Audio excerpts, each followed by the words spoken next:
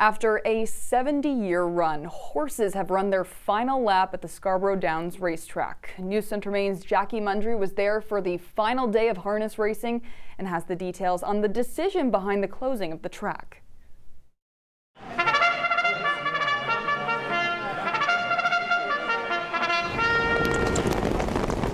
Scarborough Downs opened in 1950. On Saturday, horses are off to the races on this track for the final time. It's been a difficult go in the harness racing industry for a number of years now. Mike Sweeney has been the announcer at Scarborough Downs on and off since the 1980s. He says the harness racing industry in Maine has changed a lot since the Oxford Casino went online.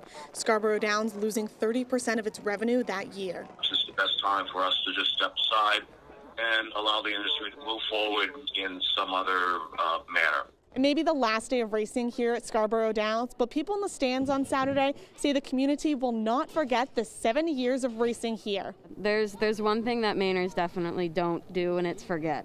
Uh, we're just excited about being here and look forward to seeing all this being put in a piece of important history in Maine. For some at the racetrack on Saturday, and this is my first time, and so I was all excited about it and still am. But others? I love these creatures so much. Saturday marks an end of an era. When we shut the lights out today, we're going to leave with our heads held high, you know, knowing that we did what we could. It's the end of 70 years of tradition in Maine. The thrill of a day at the races, winning big, to take the lead. or losing, Here comes Human Being quickly into the back. remain as treasured memories. In Scarborough, Jackie Mundry, News Center, Maine.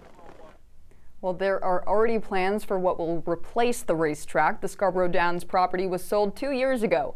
According to its website, the Downs will be a 524 acre mixed use community site. And as you can see, construction already underway.